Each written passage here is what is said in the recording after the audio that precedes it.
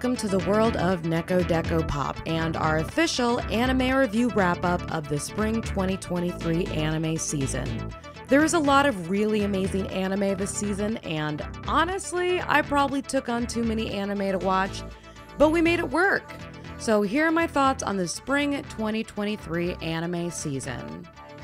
First off, we have Skip and Loafer, which is a truly delightful anime that honestly came out of nowhere. I'm usually pretty hit or miss when it comes to slice of life anime. I either love it or they bore the ever loving hell out of me.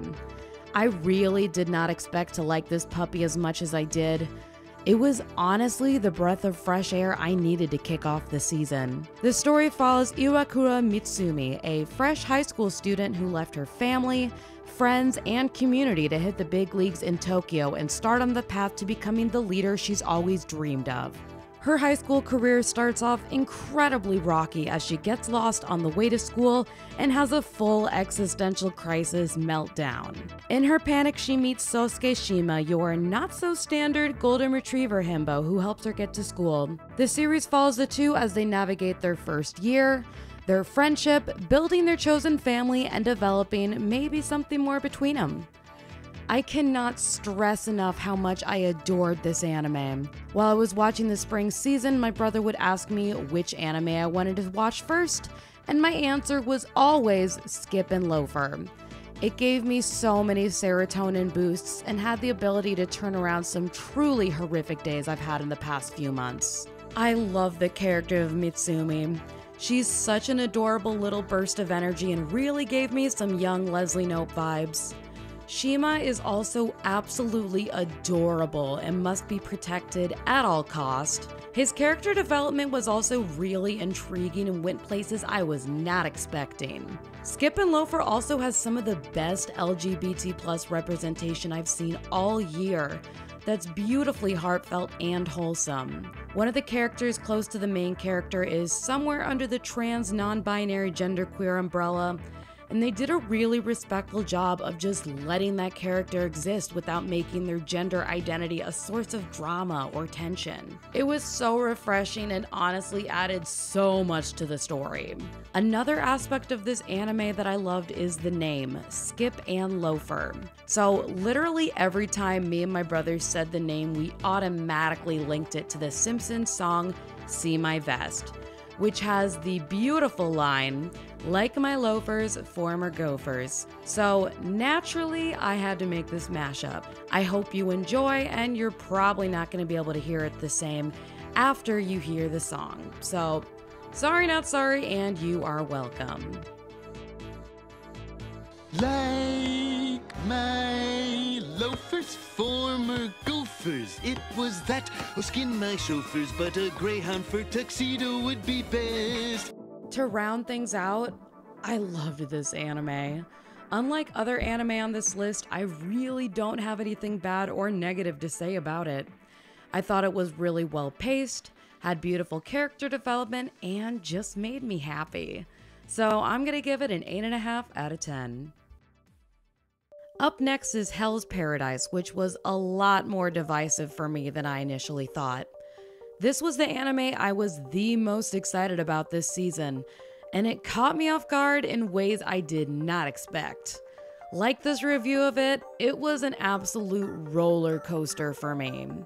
So, my background knowledge on the series is limited to that one day I tried to read the manga, but it was way too gruesome, even for me. So, I decided to drop it. That was one of the elements in the anime that kind of threw me off since you would think an anime would pull off that level of brutality better than the manga. But the manga was way more intense, and honestly, I don't think that's a good thing. So let's get into the good, the bad, and the ugly. Starting with the good. This anime is aesthetically stunning, just absolutely breathtaking. The monsters are weird and fucked up the dark aspects of this anime are just badass. Unfortunately, for the first few episodes, those were the only solidly good aspects of this anime for me. I'm sorry, but the writing and the dialogue is terrible. It gets slightly better later on, but overall, it is just not good. The dialogue is cliched and feels super stale, and the character interactions are awkward and forced. The characters are also completely flat with one note personalities. I haven't seen a female main character written so badly since Naruto, and she's super annoying to boot. At least with Gabimaru, he has legit motivation. He's trying to receive a pardon so that he can go home and be able to finally live a peaceful life with his loving partner. Her motivation is literally just, I want to be the best executioner in the village and cut people's heads off perfectly. Like, what? She's so bland that she's almost killed off in episode 3, and I was absolutely begging for her to be taken out so I wouldn't have to listen to her one note motivation anymore. So that's how I felt about the first 3 to 4 episodes. What happened after that had me floored. I got consumed by Hell's Paradise and it swallowed me whole. We were getting to the 11th hour of me trying to get this video out on time, so I needed to binge like 9 episodes ASAP. I initially was gonna break it down into a couple of viewings, but once I started, I literally could not put it down. I've never been more surprised by an anime turnaround. The way that this story takes off and builds to the climactic last minutes was astounding. The sheer amount of time and effort the author put into the lore and world building is outstanding. I went into this anime locked into the mindset after the first few episodes that this anime was nothing more than a beautiful and visually stunning hollow shell. I left absolutely speechless. This is one of those animes that reveals so much that it's going to get continuously better with each viewing. Super excited to rewatch this one giving Hell's Paradise a surprising 9 out of 10. Got recommended Dead Mount Death Play by Mother's Basement, but I didn't go into it with high hopes because it's isekai based, which is my least favorite genre.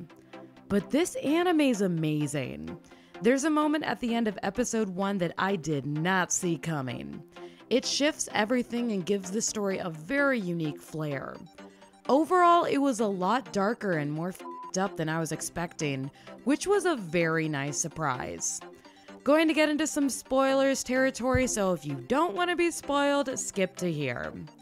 The concept of reverse isekai is nothing new, but the concept of reverse isekai, where it's revealed that the villain, not the hero, gets transported to a new world, is one I haven't seen before.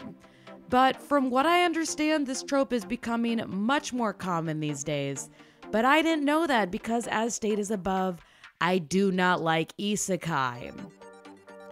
In Dead Mount Deathplay, our main character is the universally feared corpse god, whose reincarnation is immediately endangered by the overly enthusiastic assassin who thought she'd completed her job. Hijinks ensue, and somehow Corpse God ends up teaming with the same group who was hired to take him out in the first place. This leads to some very intriguing character development as you watch these two opposing groups come together to unravel a multitude of mysteries. By the end of the anime, you start seeing that there's something sinister developing that links the two worlds together. It sets up the next part of the anime, which will be out in October, very nicely. I'm super excited to see where they end up taking it. Overall, this was a really well paced, fun, and up anime that did a fantastic job pulling me in and getting me excited about the second part. Try to go into this one blind because it truly is one that gets exponentially better when you get to experience everything in real time. Giving Dead Mount Deathplay a 8 out of 10.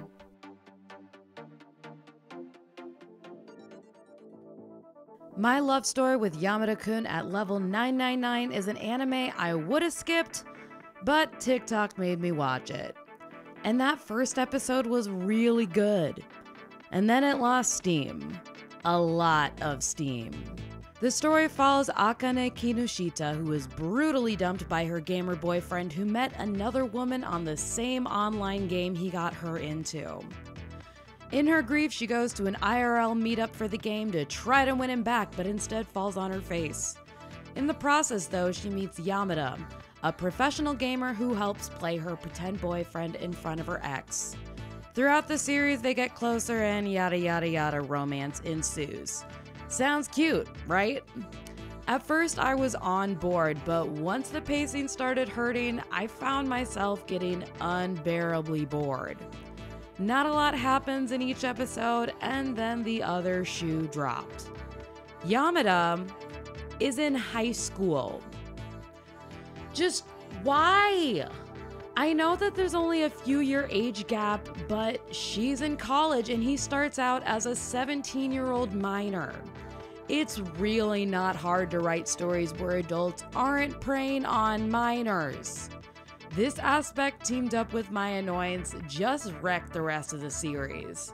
This is one that I had to force myself to keep up with because by episode 5, I was over it.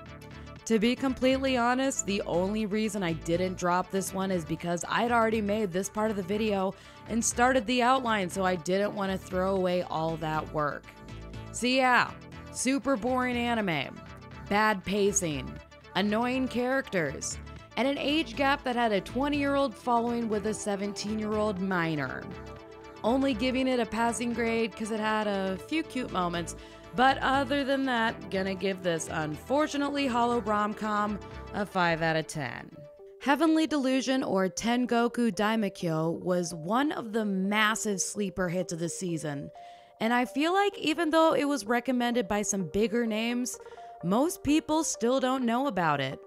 Everything from the animation and world building to the tightly written screenplay and character development kept me on the edge of my seat. Now, I'm a sucker for anything post apocalyptic, so I was immediately drawn in. It follows a futuristic Japan decades after the Great Disaster, which wiped out technology and shattered society back to the Dark Ages.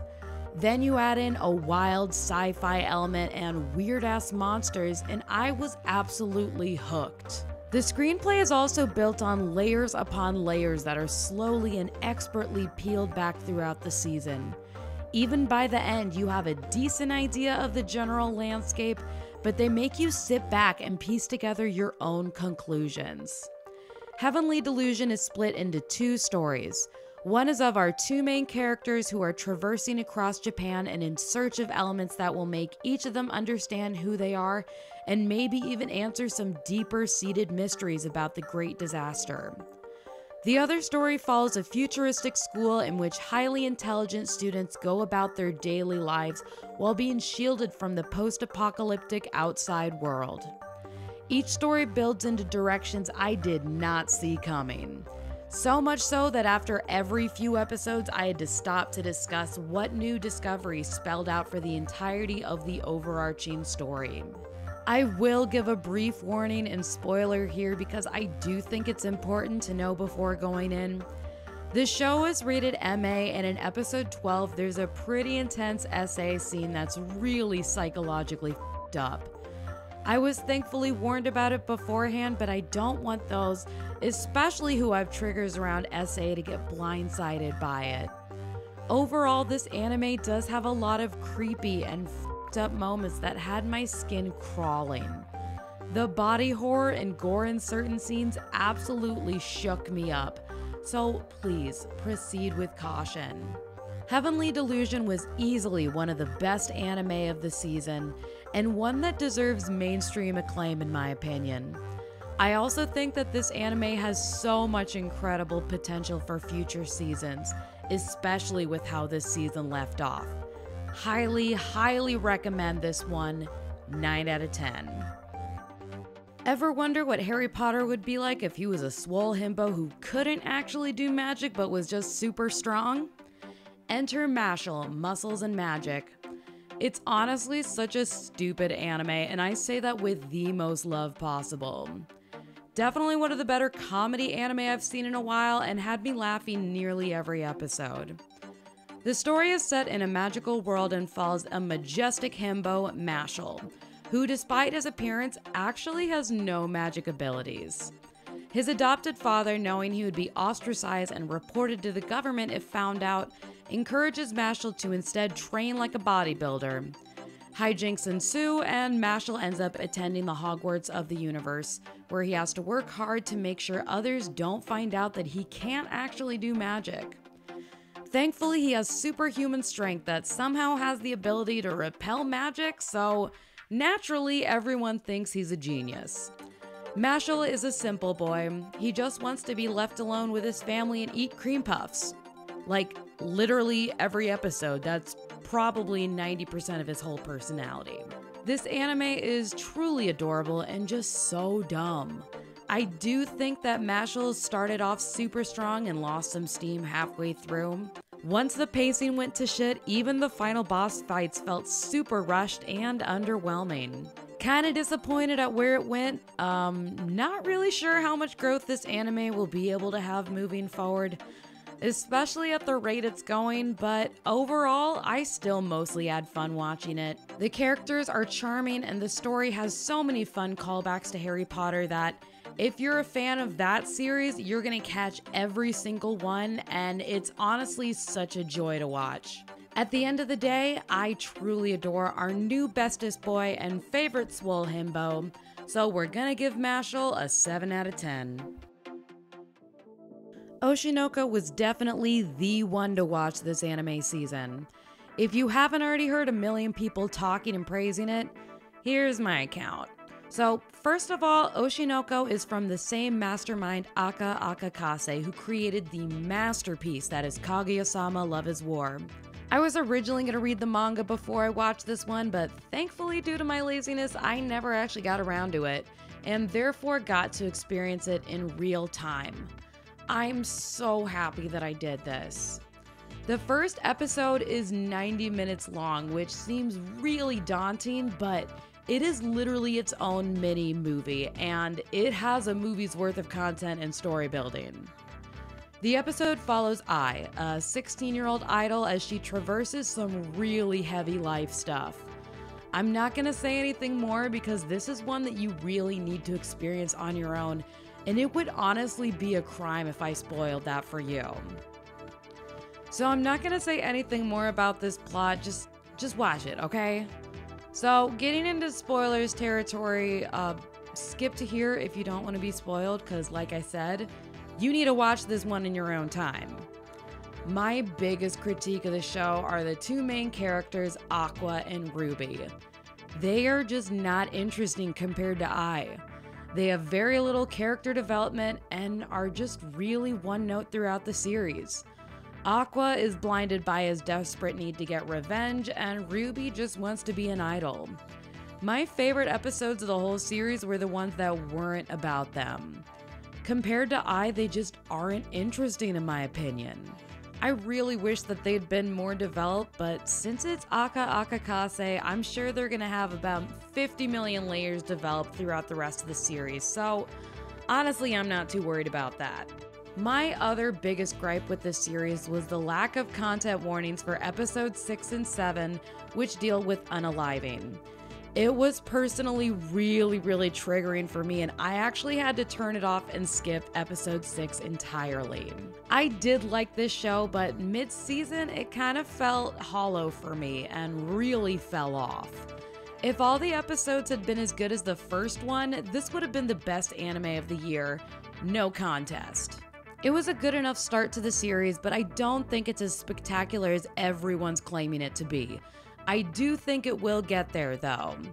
But it was still good, and to be honest, I'm really scared of this fandom, so I'm gonna give this puppy an 8 out of 10. Mobile Suit Gundam The Witch from Mercury is a continuation from the first half of the series, which premiered in the fall 2022 anime season. This is my first Gundam series, and honestly, it's one of the more perfect ones to start with to get introduced into the massive world that is Gundam. One day, I'm gonna have to do a whole episode on the Gundam universe and how it actually saved the anime industry during the 70s. But until then, here's this. This edition in the cinematic universe that is Gundam was truly spectacular to watch. I should preface this by saying that I do not like mecha anime. It's not my thing and it's pretty cheesy in my opinion. But this, this was a revelation. Since it's Gundam, there's endless amounts of world building, character development upon character development, and so much space politics. Like, so much space politics. The witch from Mercury follows Suletta, a naive little bumpkin from Mercury who's able to attend one of the most prestigious academies in the galaxy. In this age of Gundam, all Gundam technology has been banned due to the, you know, the fact that they kill pilots slowly and painfully over time. This anime takes place around 20 years after those referendums were set in place. With the backdrop of a fun school year, this anime is anything but fun and calming. Yes, there are fluffy moments, but when the space politics kick in, this anime can get devastating and made me cry on multiple occasions. It's hard to describe the plot aspects since there's countless ones, so I'm not gonna even try to do that in this video. Just just watch this show. Especially because The Witch from Mercury is super gay. Like, gay characters, gay relationships, gay haircuts, gay. In comparison to the first core, which came out last year, this was probably the weaker of the two. Although there was definitely more things that happened this season, the pacing was just odd and felt kind of rushed by the end. This is one of those shows that if I could go back and do it again, I really wouldn't watch it week by week since there's an ungodly amount of important info every episode and I was forgetting stuff every single scene. I am excited to go back and binge both seasons so I can piece things together and understand it more as a whole. The Witch from Mercury is a wonderful anime with absolutely gorgeous animation. I'm really happy that this was my intro into the Gundam universe, and I'm honestly super excited to watch more Gundam. So we're gonna give this puppy an 8 out of 10. Otaku Elf is a shining example of how bad a show can be if you break the screenwriting rule show, don't tell. The amount of flashbacks to scenes that sometimes happen even 30 seconds before was baffling. This was a hate watch. The terrible writing made it hilarious, but not enough that I finished it. Because of that, I'm gonna give it a dropped out of 10, because just, just don't watch this one. I saved the best for last. Magical Destroyers is my favorite anime of the season. I cannot stress how much I adored this anime and how many friends I've gotten into it. The concept is batshit insane and just worked so well. It follows an alternate reality where Japan decides to deal with the declining birth rate by outlawing everything otaku and arresting, or as they like to call it, protecting otaku. The story starts three years into the regime in a war torn Shibuya. Literally, they bombed Shibuya. But through endless battles, a group of radicalized otaku have retaken that part of the city. Our main character is called Otaku Hero, because of course he is. And he's joined by his three real life magical girls Blue, Pink, and Anarchy. They all work together to fight back against the government and win back their rights. The brilliant aspect of this whole anime is the rest of Japan is totally fine and going on like nothing happened. But Shibuya is war torn post apocalyptic. The level of stupidity and insanity is incredible. When I say this anime is stupid, I mean it. This anime is stupid, but it knows it and leans into it so hard that the absurdity makes it an absolute masterpiece. My favorite kind of anime are the ones that go absolutely batshit, balls to the walls, stupid as hell, and scream, only an anime could pull this off. For example, my favorite anime ever is FLCL. This anime is like if FLCL and Kill la Kill had a baby. It's amazing, and honestly would have gotten a 10 out of 10. But there's a scene in episode 4 where a minor is hospitalized that made me scream at my TV in disgust and disappointment. I also don't know how I feel about the ending. It was really messy, and I don't think I actually like how it panned out. However, given the rest of the show, this ending fits perfectly and makes total sense. I was really hoping this was gonna be a one and done season, but I could see it open for a second season. But I could also see it just ending like this with the final message backing up the thesis of the show. Magical Destroyers is messy in general, but that's what makes it so much fun. It's an absolute shit show. Other than those aspects, this anime is pretty damn near perfect and has hands down the best OP of the entire year. That's truly insane, bizarre, and wonderful. Magical Destroyers gets an unofficial 10 out of 10, but because of that scene, 8 out of 10. To wrap things up, overall, I was pretty happy with this anime season. My highlights were definitely Magical Destroyers, Hell's Paradise, Heavenly Delusion, and Skip and Loafer. Ones I wish would have been better were the continuation of The Witch from Mercury, Mashle, and Oshinoko. I do think there was a lot more good than bad, and the amazing was truly next level. So here are my official rankings. Thank you so much for sticking around, and I'll see you guys on the next one.